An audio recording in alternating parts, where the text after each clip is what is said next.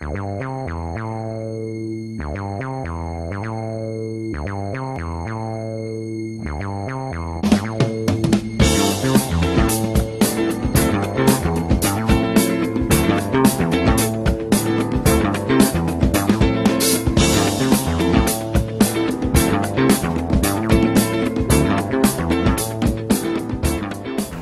my name is Ken Tan. I'm a creative director. I have a lot of things uh, to do actually in a day. Most important of which is I run a digital uh, marketing agency. So that I look after like clients and help them out with their marketing projects uh, across digital uh, channels. I also am the creative director at uh, three bars. One of them is the prominent uh, Gem Bar found on Ann And recently I've been made a partner at Supplies and Company, which is a furniture lifestyle store uh, at Raffles Hotel. So yeah.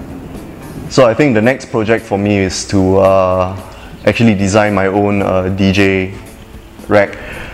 Uh, I've been dabbling in uh, interior design a bit, as you can see from my house. This is all of my own design.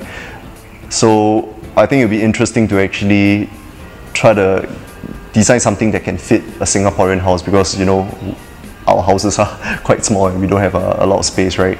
And something that can actually serve uh, the, the needs of a DJ.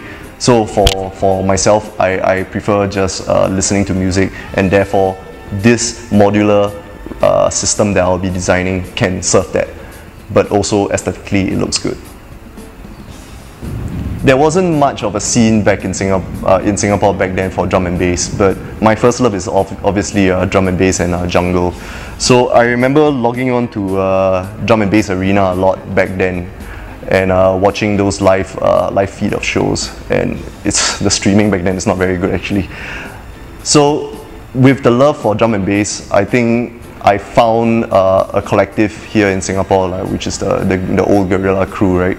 And started hanging out them a little bit and uh, bought my first record at HMV if I'm not wrong.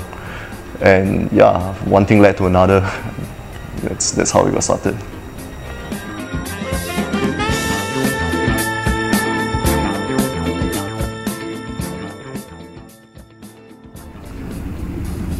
First record that I bought. If I'm not wrong, I think it's uh, a drum and bass record on uh, Creative Source. And it might have been Creative Source, Source 002, Calyx or something like that, yeah. But I don't have it now anymore. I try to keep my ears open quite a bit, right? And uh, social media is actually a big help because, you know, whatever my friends share, and I have a mentor, I don't want to name names, but thank you, Mr. Crispian Lai. So whenever he shares something, you know, you you take it from that point, that, that, that little track he shared, and you start experimenting and going deeper and researching into uh, that kind of feel uh, yourself, and then you, you start to like uh, learn a lot more music.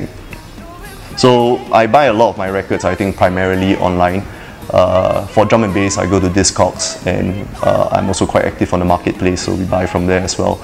And um, the rest of the stuff, I sometimes go to uh, Adelphi and just look at uh, the records on sale there. You never know what you can find, right? Grooverider prototype years. Limited edition. Usually it's black with orange, but because I collect, I like to get the limited ones, right? So this is like the apple eye of the record. Brilliant tracks in here. Another really, really rare record James Mason, James Mason Rhythm of Life on Chiaroscuro Records, which is so old. It's like 1970s. This is real rare groove jazz funk.